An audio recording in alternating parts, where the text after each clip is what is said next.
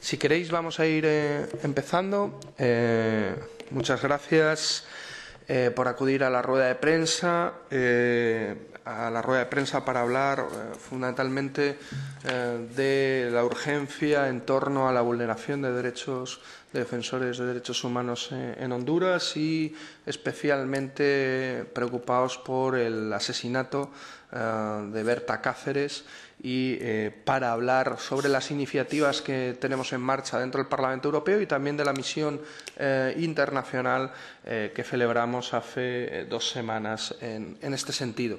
En un primer momento va a hablar Sofía Sacorafa, que se tiene que, que, marchar y va a hablar en un primer momento y pido también disculpas porque se tenga que ir, pero ella quería estar presente en la rueda de prensa. Sofía. Να σε ευχαριστήσω πάρα πολύ και εξ αρχής να ζητήσω συγγνώμη γιατί δεν θέλω να είμαι αγενής. Είναι ένα πάρα πολύ σοβαρό θέμα. Θα ήθελα να μείνω μέχρι το τέλος, αλλά όπως είπες πρέπει να είμαι στην Ολομέλεια γιατί έχουμε ένα επίσης σοβαρό θέμα για την δική μας χώρα που αφορά το θέμα της Τουρκίας. Ε, αυτό που θέλω να πω είναι ότι το θέμα των ανθρωπίνων δικαιωμάτων είναι ένα κυρίαρχο πρόβλημα στα περισσότερα κράτη της uh, Κεντρικής Αμερικής. Είναι λογικό αν σκεφτούμε ότι προέρχονται από μακροχρόνιες τυγερές δικτατορίες και από αιματηρούς και εμφύλιους πολέμους. Το γνωρίζουμε από τις σχετικές εκθέσεις των Ηνωμένων Εθνών, των διεθνών οργανισμών, αλλά και των οργανώσεων υπεράσπισης των ατομικών ελευθεριών και των ανθρωπίνων δικαιωμάτων. Το διαπιστώσαμε επίσης εμείς σαν Επιτροπή στις επισκέψεις μας και στις συναντήσεις και στις συζητήσεις που είχαμε με, τις, με εκπροσώπους των μειονοτήτων, των ηθαγενών, των γυναικών της κοινωνίας των πολιτών, στην τελευταία επίσκεψη που έκανε η Επιτροπή μας στην, στην Ονδούρα και στην Γουατεμάλα. Το θετικό είναι ότι σε αυτές τις επαφές είχαμε τη δυνατότητα να διερευνήσουμε και να αντιληφθούμε το βάθος του προβλήματος χωρίς να στηριζόμαστε στις επίσημες ενημερώσεις. Σημειώνω ότι είναι από τα πρώτης προτεραιότητας ζητήματα που έχει θέσει η ΔΕΚΑΜ από την αρχή αυτής της θητείας και μνημονεύεται με ιδιαίτερη έμφαση το συγκεκριμένο θέμα, δηλαδή το θέμα των ανθρωπίνων δικαιωμάτων, της προστασίας της ανθρώπινης ζωής και στις εισηγήσεις και στα report που έχουμε συντάξει. Το ζήτημα λοιπόν αυτό το θέτουμε σε κάθε ευκαιρία στη συνεδριάση της Επιτροπής και είναι θέμα της ατζέντας για την επόμενη εβδομάδα και θα σας καλούσα, αν είχατε τη δυνατότητα, όλοι να παρακολουθήσετε την Επιτροπή.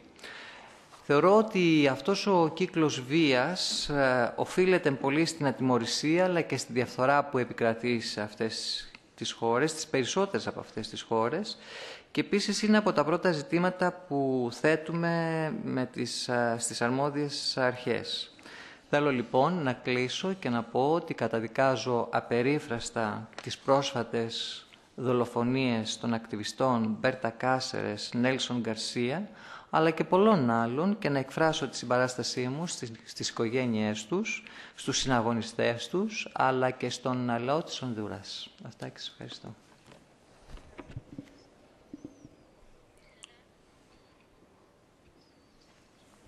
Muchas gracias, eh, Sofía. Hay que recordar que además Sofía es la presidenta de la Delegación para América Central en el Parlamento Europeo y por eso también era especialmente importante que estuviera aquí con nosotros eh, presente en la rueda de prensa. Sin más, le doy la palabra a José Couso, eurodiputado de Izquierda Unida y Izquierda Unida Plural.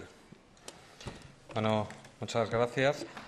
Eh, lo primero, señalar que para para nosotros, los miembros de, la izquierda plural y de Izquierda Unida, el asesinato de, Berta Cáceres supuso una conmoción terrible porque era una persona que ha trabajado mano a mano directamente con muchas personas, no solo de nuestra organización, es decir, de Izquierda Unida, sino también con organizaciones defensoras de los derechos humanos y de los derechos de los pueblos indígenas en nuestro país.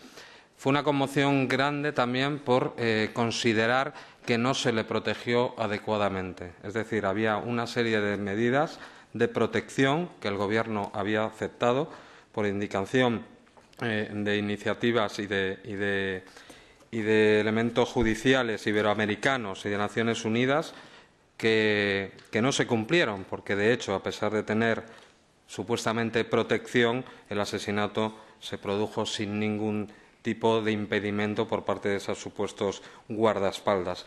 Inmediatamente nos pusimos en, contacto con la alta representante, tanto Marina Albiol, que es la, coordinadora de, nuestra delegación, como yo mismo, para pedirle eh, una investigación independiente, preguntarle qué medidas ha desarrollado la delegación de la Unión Europea en Honduras para vigilar las actividades de las transnacionales europeas, porque vemos que muchas veces, eh, por desgracia, compañías extractivas, muchas con sede en Europa, tienen vinculación, por desgracia, con estos asesinatos. También le preguntamos si, pensaba implementar un nuevo programa PAS centrado en la protección de defensores de derechos humanos y periodistas. A día de hoy no hemos tenido respuesta por parte de la alta representante y es algo que nos preocupa porque era una, pregunta eh, urgente. Eh, inmediatamente tuvimos preocupación por el testigo, Gustavo Castro, un activista medioambiental y de derechos humanos mexicano que estaba retenido por las autoridades hondureñas. Eh, afortunadamente fue liberado el 31 de marzo, pero para ello desarrollamos diferentes iniciativas. Lo primero fue una carta de 36 eurodiputados del Grupo de la Izquierda Unitaria Europea y de la Izquierda Verde Nórdica, tanto a Federica Mogherini como al jefe de la, delegación de la Unión Europea en Honduras, Ketil Carlsen. Hay que decir y felicitar que, al contrario que, que, que la alta representante no nos ha contestado, pues afortunadamente la oficina del embajador sí lo ha hecho y además con un, con un nivel de detalle que nos ha satisfecho bastante de todas las actividades que ha hecho la Embajada de, la Unión Europea en Honduras para tratar de proteger y conseguir que este testigo pueda salir. Em, a solo 12 días del asesinato de, de Berta Cáceres hubo una nueva víctima, el señor Nelson García, activista indígena y campesino. Por segunda vez nos dirigimos otra vez de urgencia a la alta representante para eh, exigirle o preguntarle qué acciones concretas iba a llegar la Unión Europea para solicitar de una vez al Gobierno de Honduras resultados de estas investigaciones imparciales y medidas de protección efectivas, ¿no? Porque nos espeluzna este doble rasero que tiene, por desgracia, este Parlamento y la Unión Europea, un país como Honduras, en el cual desde 2009 se produjo un golpe de Estado que ha convertido a ese país en el más violento del mundo.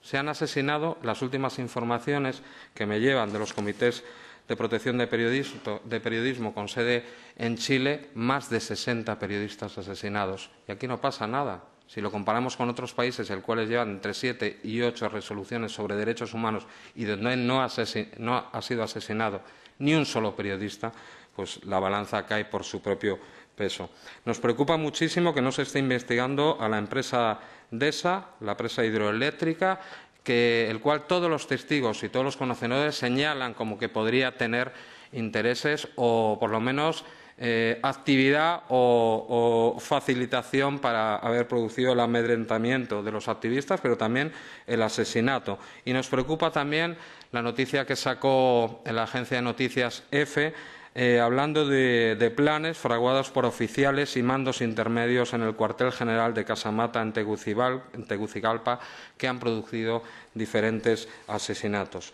Para terminar, decir que estamos en permanente contacto con compañeros y compañeras defensores de derechos humanos en Honduras que seguiremos trabajando para que se les proteja efectivamente, que no descartamos viajar en las próximas fechas para estar acompañándoles y que también estamos pensando en una actividad de diferentes grupos, de los que estaría Podemos, estaría Izquierda Unida y alguno más, para realizar unas jornadas eh, que reúnan a los defensores de derechos humanos que se están siendo asesinados sistemáticamente en América Latina, en Colombia, en Honduras, en Guatemala, en México, etcétera, etcétera. Para acabar, anunciar que el próximo miércoles en la Subcomisión de Derechos Humanos del Parlamento en Bruselas estará presente una hija de Berta Cáceres y representantes de la Coordinadora de Indígenas de Honduras. Muchas gracias.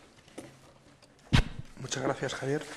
Eh, para terminar, eh, yo tuve mm, la suerte de participar en una misión internacional eh, con más de 15 representantes de la judicatura, de otros cargos públicos y también de periodistas y periodistas de, sobre todo, América Latina, en donde también participó el diputado nacional Pedro Arrojo de Podemos y eh, en esta misión eh, internacional, que llamamos Misión Internacional Justicia para Berta eh, Cáceres, que fue pedida por parte de la COPIN, organización que dirigía y de la cual era portavoz Berta Cáceres y la, la propia familia de Berta Cáceres, pudimos visitar del 17 al 21 de marzo Honduras, porque no solo estuvimos en la capital, sino también fuimos eh, justamente a donde se estaba produciendo eh, Aguasarca y también a donde se produjo el asesinato de, Berta Cáceres. Eh, decir que mm, eh, en esta misión creemos que ha tenido un impacto muy importante y ha ayudado a aumentar la presión internacional sobre, sobre el caso. cuando nosotros llegábamos, llegamos, Gustavo Castro, que no solo es testigo, sino que hay que recordar que también es víctima de intento de asesinato, por fin, como ha dicho eh, Javi consiguió salir el 31 de marzo del país y yo creo que la presión internacional en este caso ha sido fundamental. También ha sido la presión internacional ha ayudado y esta misión ha ayudado para intentar eh, que no se echara tierra eh, encima de, propio, la propia investigación sobre el homicidio a Berta Cáceres. Cuando nosotros llegamos, la principal línea de investigación era la propia COPIN o sea, estaban investigando a, las propias víctimas como si eh, formaran parte del posible intento, del posible asesinato e intento de asesinato eh, primero de Berta Cáceres y luego de Gustavo Castro, cuando eh, Berta era una persona que llevaba varios años, por desgracia, teniendo sobre sus espaldas el acoso y las amenazas de muerte creo que es muy interesante que hace pocos días el Ministerio Fiscal hondureño haya desestimado eh, justamente eh, a la COPIN y el supuesto eh, móvil del crimen pasional como un, elemento de una línea de, investigación y sí que se empiece a investigar los intereses económicos de las empresas de Aguasarca que eh, con las que la COPIN y la propia Berta Cáceres eh, se opusieron. Creemos que es la línea eh, a seguir según lo que nos trasladaron la propia familia y las diferentes organizaciones de defensa de los derechos humanos. Una vez dicho esto, nosotros hemos sacado una serie de conclusiones, eh, os hemos pasado un, si no lo tenéis, un, digo para tampoco ser muy exhaustivos, un informe ejecutivo, vamos a tener público también un informe más extenso para todo el mundo que lo quiera ver, pero voy a, resaltar una serie de conclusiones. Primero, algo que se cae por su propio pie, ¿no? Eh, o por su propio peso que es eh, cómo desde el golpe de Estado, como decía Javier, el aumento de la violencia política en el país es palpable y se deja ver en todos los indicadores. Eh, tanto de asesinato de periodistas como de defensores de derechos humanos, como, eh, por ejemplo, del acoso a eh, también activistas LGTBI, que es uno de los elementos también centrales de lo que estamos viendo de la violencia política ahora mismo en Honduras. En segundo lugar, el golpe de Estado no solo ha significado un aumento de la violencia política, sino también una pérdida de institucionalidad y una debilidad institucional brutal de, no solo del Gobierno, sino también de la justicia hondureña. Nosotros tuvimos que asistir a una, reunión con el Ministerio eh, Fiscal, incluso con eh, representantes del Parlamento hondureño en defensa de derechos humanos de todos los grupos parlamentarios, también del Gobierno, y nos dijeron que no había independencia judicial en este país. Y eso se dijo en sede parlamentaria en Honduras y nadie, y vuelvo a repetir, nadie corrigió esa afirmación. Con lo cual, creemos que hay una ausencia de garantías de respeto a los principios democráticos, libertades fundamentales y derechos humanos, así como una falta de voluntad política para acabar con un estado de impunidad. Y eso es otro de los elementos que hay que decir. En tercer lugar, el sistema de protección de derechos humanos del Estado hondureño no funciona y no hay voluntad política para que funcione. Porque ¿sabéis lo que decía la mayoría de los defensores de derechos humanos en Honduras? Que si podían matar a Berta Cáceres, podían, pueden matar a partir de ahora a cualquiera. Hay que recordar que Berta Cáceres era un símbolo no solo en Honduras, sino que era un símbolo internacional, lo cual, en teoría, daba una mayor protección eh, a su figura. Con lo cual, además, y otros un elemento fundamental, no solo es que se hayan incumplido, como decía Javi, las medidas cautelares dictadas por la Comisión Interamericana de Derechos Humanos, sino que incluso la nueva legislación aprobada por el Parlamento hondureño de defensa de, eh, de protección de defensores de derechos humanos, a día de hoy, ¿sabéis con cuánto presupuesto goza? ¿De cuánto presupuesto goza? De cero. Han hecho una ley sin presupuesto. Evidentemente es una cuestión de falta de eh, voluntad política.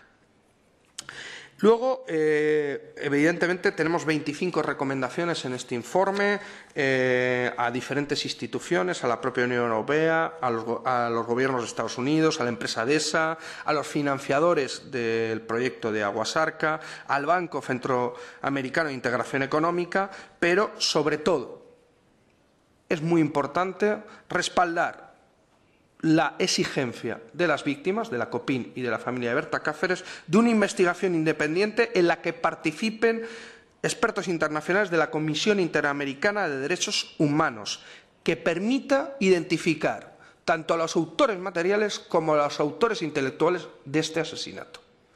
Hay que decir que no solo es Berta Cáceres, es un hostigamiento organizado hacia los defensores de derechos humanos y en concreto hacia la COPIN.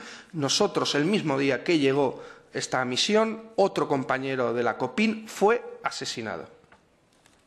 Otro compañero fue asesinado el mismo día que llegó esta comisión internacional y otros dos fueron tiroteados a lo largo de la misión en la que nosotros participamos. De esa forma, recomendamos al Consejo de la Unión Europea suspender la ratificación del acuerdo de asociación Centroamérica-Unión Europea mientras se sigan incumpliendo los derechos básicos de respeto a los derechos humanos. Como sabéis, todavía hay 18 países miembros que no, han ratificado el acuerdo eh, Centroamérica-Unión Europea. A pesar de ello, a pesar de ello, las cláusulas comerciales se llevan aplicando desde el 2013, pero las cláusulas de derechos humanos ni desde el 2013, ni desde el 2014, ni desde el 2015, ni desde el 2016. Creemos que es fundamental, por eso, solicitar la paralización de la, de la ratificación hasta que se respeten los derechos humanos. También solicitamos al Gobierno de España y a los Estados miembros de la Unión Europea evaluar el programa Eurojusticia, suspendiéndola temporalmente hasta que se establezcan las responsabilidades del asesinato de Berta Cáceres y hasta que se compruebe que no se está utilizando dinero de la Unión Europea para auspiciar la represión hacia los movimientos sociales en Honduras. No vamos a permitir, o por lo menos no nos vamos a quedar callados, mientras puedan estar yendo ni un solo euro eh, de la cooperación española y de la cooperación europea a reprimir a defensores de derechos humanos. En ese sentido, pedimos la cancelación de manera inmediata del proyecto Aguazarca y de todas las confesiones dadas en territorio lenca sin el debido consentimiento previo, libre e informado a las comunidades afectadas como, como declara el artículo 169 de la OIT ratificado por el Gobierno de Honduras. Creemos que es fundamental. Y, por último, reclamamos la desmilitarización de los territorios indígenas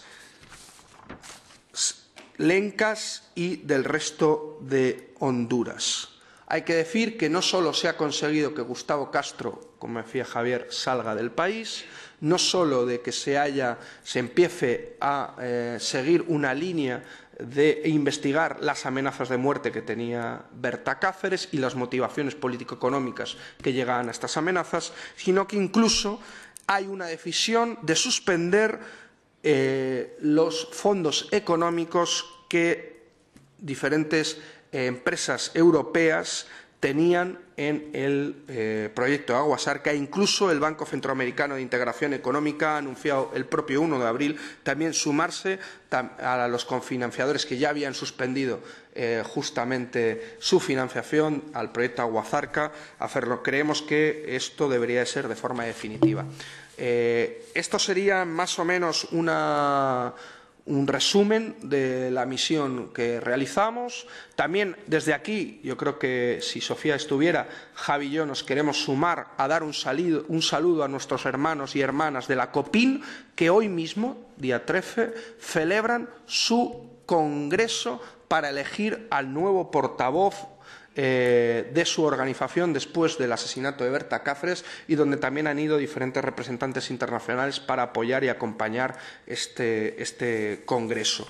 Decir que mañana tenemos justamente aquí en sesión eh, plenaria eh, una urgencia, una urgencia sobre Honduras, en donde vamos a tratar el asesinato de Berta Cáceres, la vulneración de derechos humanos y la persecución de la que la comunidad LGTBI también es eh, sometida en Honduras. Es una urgencia que hemos decidido firmar como grupo eh, que hemos decidido firmar, aunque no satisface eh, todo lo que para nosotros creemos que debería de, decir, aunque creemos que eh, no señala directamente al golpe de Estado y no habla de poder analizar los proyectos de cooperación que tiene la Unión Europea ahora mismo y, sobre todo, no habla de parar la ratificación del acuerdo Unión Europea.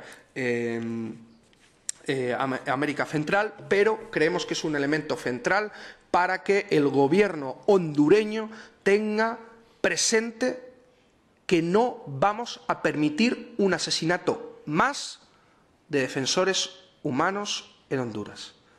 Y eso es un elemento central. La presión internacional tiene que ayudar justamente para esto.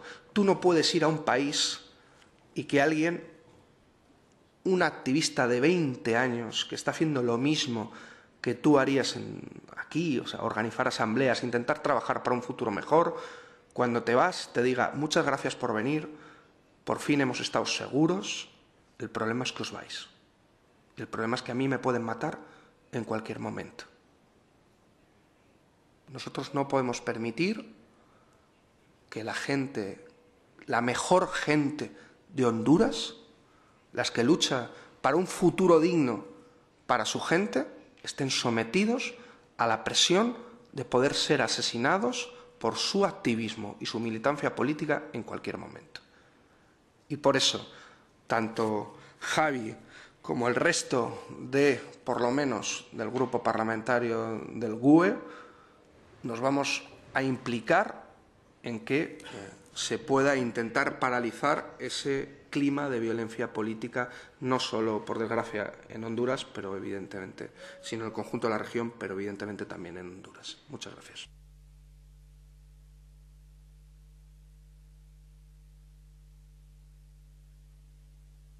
No sé si alguien. Sí. Sí, Ángel Calvo de la agencia EFE. Cuando están pidiendo la. entendido también la suspensión del programa Eurojusticia no, polarización. Paralización, perdón. En este caso, ¿qué es lo que sospechan que se está desviando? Quiero decir, ¿hacia dónde temen que se está desviando ese dinero? ¿Y en qué supone en términos eh, económicos o, eh, en teoría, dónde tendría que ir dirigido los fondos de este programa? A lo mejor lo tenía que haber dicho al principio, nosotros con el viaje eh, tuvimos una agenda bastante apretada, nos reunimos con las diferentes embajadas eh, de la Unión Europea en, la capital hondureña, nos reunimos con la embajada americana, nos reunimos con la Fiscalía, nos reunimos con eh, parte de una delegación del Parlamento hondureño y eh, también pudimos reunirnos con diferentes organizaciones de derechos humanos, eh, más de 32 organizaciones de derechos humanos en Honduras. uno de los reclamos más importantes es que eh, el proyecto de Eurojusticia es un proyecto, además, bastante ambicioso económicamente hablando, dentro de la cooperación tanto europeo y en la que participa también España, puede estar desviando fondos justamente para pagar elementos represivos o sea, para eh, directamente hablaban de material antidisturbio, bueno, una serie de elementos. Teóricamente, el proyecto Eurojusticia no es para eso. El proyecto de, Eurojusticia, eh, en teoría, es para reforzar la institucionalidad europea, la institucionalidad hondureña seriamente dañada después del golpe de Estado. Eh, para reforzar la, la, independencia de la justicia hondureña, para dar eh, herramientas a la justicia hondureña en, sus investigaciones, pero eh, por diferentes denuncias que nos hicieron llegar eh, por parte de organizaciones de defensores de derechos humanos, parece ser que se podían estar utilizando esos fondos para otras cosas como represión a, movilizaciones populares en, Honduras. Entonces, nosotros, lo que ante una denuncia de esas características, lo que planteamos es es que, de momento, eh, se analice. y de hecho, eh, vamos a preguntar eh, a la propia comisión si tiene algún tipo de indicio sobre eso. Ya hicimos, le transmitimos eso mismo a la delegación diplomática de la Unión Europea en Tegucigalpa. Estas eh, denuncias de diferentes organizaciones de derechos humanos. Eh, ellos mismos han puesto. Mm, Ketil, que es el, mm, embajador eh, de la Unión Europea, ha abierto unas rondas de conversaciones con defensores de derechos humanos y es un elemento que ha salido también dentro de esas conversaciones por parte de diferentes eh, organismos de defensa de derechos humanos en, Honduras. Por eso, justamente, lo que nosotros hablamos es que se paralice y se investigue.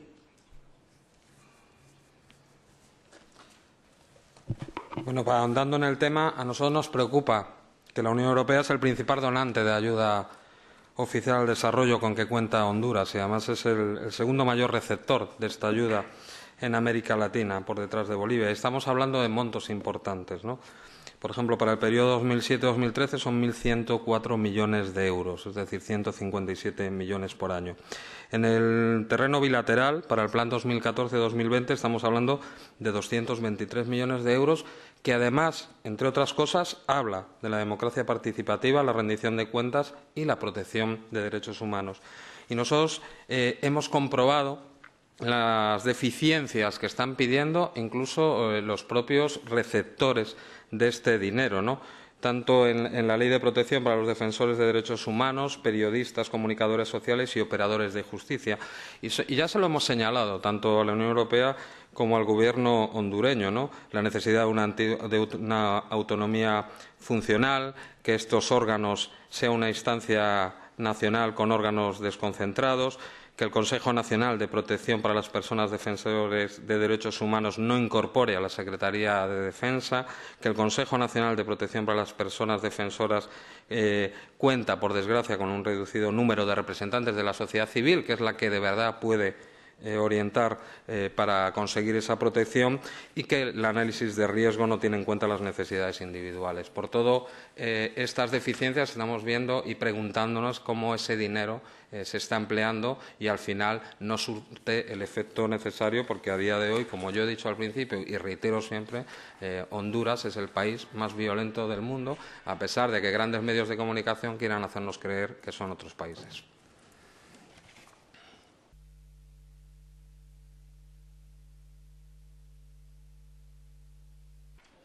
¿Tienen identificadas a personas que están corriendo particularmente riesgo de, de ser atacadas, de ser objeto de atentados como lo fue Berta Cáceres? Bueno, eh, como te decía, el mismo día que llegó, o sea, que llegamos, eh, que llegamos a Honduras, la misión internacional, mataron a otro compañero de la COPIN, eh, tirotearon a dos mientras estábamos en, la, en esa misión y el gobierno hondureño encarceló a seis. Eh, miembros de la COPIN por supuestas ocupaciones de tierras ahora mismo los diferentes proyectos que hay eh, de represas en la zona lenca eh, está generando un clima de hostigamiento hacia sus comunidades y de violencia muy importante. No, el, problema es que hay demasiadas personas amenazadas en Honduras. O sea, no es que podamos decir eh, hay este o esta otra es que tenemos a demasiadas personas eh, justamente ahora mismo amenazadas. Defensores de derechos humanos, gente de, activismo LGTBI, sobre todo em, desde el 2010 hasta el 2014, 110 eh, ecologistas han sido asesinados en, Honduras. 110, o sea, es, más ahí habría que sumar los 60, eh, ¿cómo es esto? Periodistas y luego hay un elemento también que nos decían las propias organizaciones de defensores de derechos humanos porque eh, Honduras también es un, país que tiene mucha violencia estructural o sea que no solo es una violencia política y donde es muy difícil eh, muchas veces sacar datos reales de cuántos cuántas personas han sido asesinados por violencia política, porque eh, es difícil mm, y no se discierne muchas veces de si una persona ha sido, por ejemplo, uno de los, eh, nos ponía un ejemplo muy paradigmático, uno de los dirigentes eh, del movimiento transexual en, en Honduras fue asesinado a las cuatro de la mañana en el centro de Honduras no ha sido considerado como un asesinato eh, por orientación sexual, eh, aunque estaba altamente amenazado, porque dicen que eh, el centro de Honduras a las 4 de la mañana es posible que te puedan asesinar. No es considerado un asesinato por violencia política. Hay muchos asesinatos que no sabemos, o sea que no hay forma de contrastar por parte de los observatorios que existen en, en la zona si ha sido un asesinato por violencia política. Entonces no podríamos decir si ahora mismo hay una persona que esté más sensiblemente amenazada que otra. Lo que sí podemos decir es que, por ejemplo, la Embajada Española tiene programas para poder sacar a, defensores de derechos humanos eh, del país, de Honduras, y se han pedido varias peticiones en, en ese sentido. O sea, que estamos, tenemos a varias personas que están saliendo del país porque están seriamente amenazadas. De hecho, la red de una de las que nos organizaba el viaje es la red de defensoras, una red que, de mujeres que se crea para defender a mujeres amenazadas por eh, defender los derechos humanos, porque normalmente, por desgracia, los hombres gozaban de más protección internacional y de más protección también de los movimientos sociales. Han sido una red de defensoras. La propia red de defensoras de derechos humanos ha tenido que sacar en los últimos tres años a cuatro de sus miembros fuera. Y es una red creada para defender a defensoras de derechos humanos. O sea que el, clima de violencia política y de violencia estructural es tan grande que eh, podríamos tener eh, asesinatos eh, si no hay una presión mayor de la comunidad internacional para que la ley que ya se ha aprobado dentro del Parlamento hondureño se ponga dinero, se lleve a efecto, pues podemos tener asesinatos, esperemos que no, pero podríamos tener en cualquier momento, vamos. Yo estaba viendo el, el estudio global sobre el homicidio en 2013, que es publicado por la Oficina de Naciones Unidas contra la Droga y el Delito. En los, las cifras son espeluznantes, ¿no? Habla de que Honduras es el país con más homicidios, 90,4 por cada 100.000 personas, cuando la media mundial es de 6,2 por 100.000 habitantes. Es tanto el nivel de violencia que lo que sí está señalado sobre todo son los colectivos que están siendo atacados. Antes lo señalaba Miguel, periodistas, campesinos, indígenas, sindicalistas, abogados, mujeres y colectivos de diversidad sexual. Eh, normalmente lo que se hace es estos nombres se facilitan tanto a Naciones Unidas como al Sistema Interamericano de Derechos Humanos. Lo malo es que, como recogió Christoph Heinz, que es el relator especial de la ONU sobre ejecuciones extrajudiciales, eh, hay un alto grado de impunidad que impera respecto a las ejecuciones extrajudiciales. Y, sobre todo, lo grave es que eh, muchos de estos asesinados tenían medidas cautelares de protección. Lo hemos visto con Berta Cáceres, pero se repite sistemáticamente.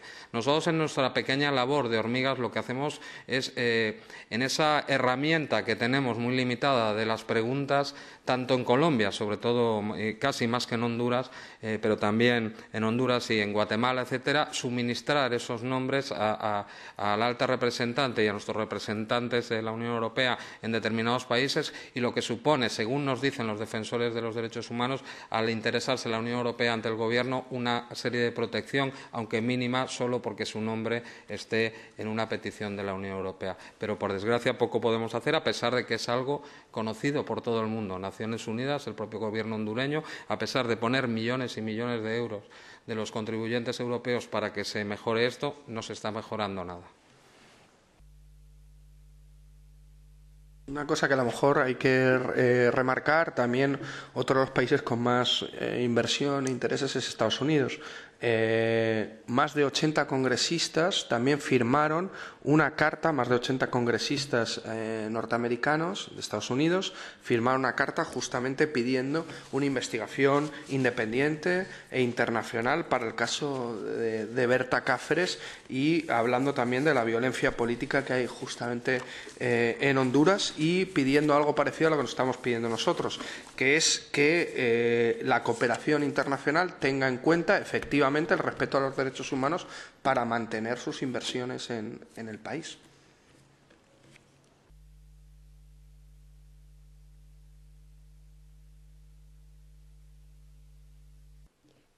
El, problema básicamente, como, entiendo yo, era eh, la presencia de una hidroeléctrica en territorios indígenas. Para eso existe el, eh, artículo, eh, Em, el convenio 169 de la OIT, que, que prevé una consulta previa. La pregunta es, este problema se da en Honduras, se da en Colombia, se va a dar en Ecuador, se da en Argentina, se da en Perú. ¿Cuán lejos estamos de que de verdad se cree un mecanismo o existe ese mecanismo y no lo utilizamos para verificar que si hay proyectos sean efectivamente con consulta previa. Primero que hay que decir es que em, los mismos proyectos de represas hidroeléctricas que se están haciendo ahora mismo en Honduras y en los mismos países que tú has dicho son proyectos desfasados. O sea, son proyectos que ya no se utilizan en Europa y que ya no se utilizan en Estados Unidos y que incluso en Estados Unidos esas represas están siendo demolidas para recuperar el entorno natural y el propio recorrido de los ríos.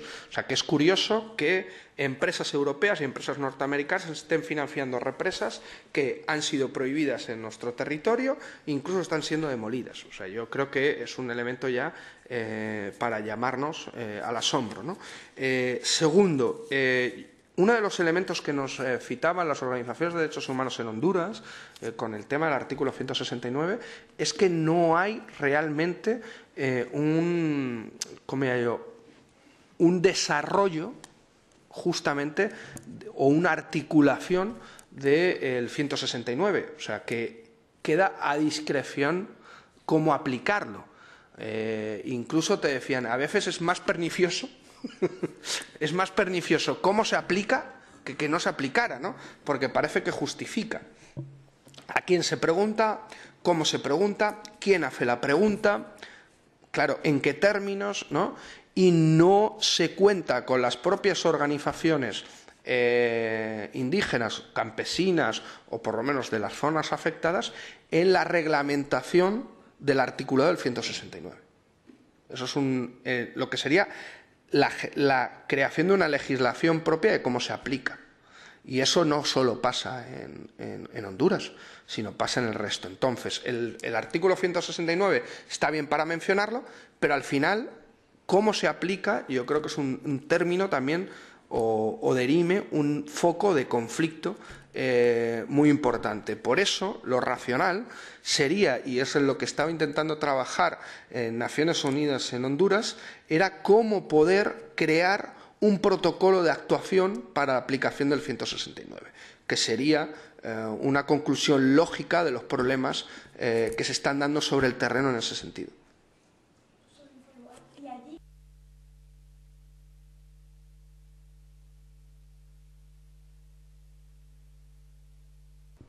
Eh, nosotros hablamos con la embajada española estaba dispuesta a implicarse y a meter dinero en el, desarrollo del proceso para construir ese tipo de protocolo en, Honduras. Eso nos lo manifestó el embajador eh, en su momento.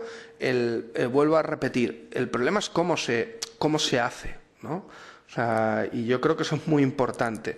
Eh, y las consultas a las diferentes eh, organizaciones indígenas y campesinas hondureñas debe ser un elemento esencial para poder desarrollar ese, ese protocolo de actuación. Pero parece ser que sí que había interés en poder hacerlo. El problema también, y yo lo llevo viendo, y antes lo decía Miguel, y por eso es tan importante, lo llevo viendo en toda mi actividad parlamentaria, en estos casi dos años que llevamos aquí, es que no es gravoso para los países incumplir los derechos humanos es que estamos viendo que todos los acuerdos comerciales que desarrolla la Unión Europea en su segundo articulado están supeditados al cumplimiento por la contraparte de los derechos humanos y ninguno se suspende ni temporalmente ante casos gravísimos como estos del cuales estamos hablando, pues decenas y decenas de asesinatos. Entonces, evidentemente, si no hay una intención clara de cortar esas ayudas o esos acuerdos comerciales cuando alguien no cumple lo que dice un articulado que aquí votamos y que luego se eleva eh, a la comisión, pues nunca pasará nada, seguirá siendo barato eh, asesinar a las personas. Y por eso es algo, grupos minoritarios como nosotros dentro de este Parlamento, que funciona como una gran coalición, que lo que le interesa es la eh, o sea, maximizar los beneficios frente a la diversidad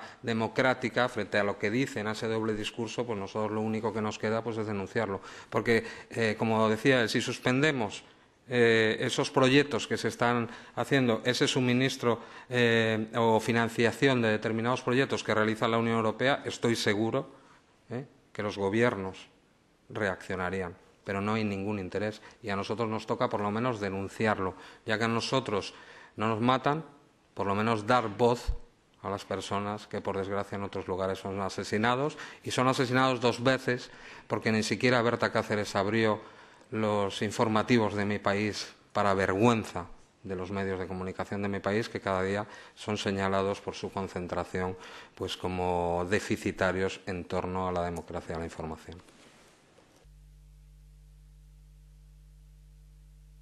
Más preguntas. Eh, damos por concluida la rueda de prensa. Muchas gracias.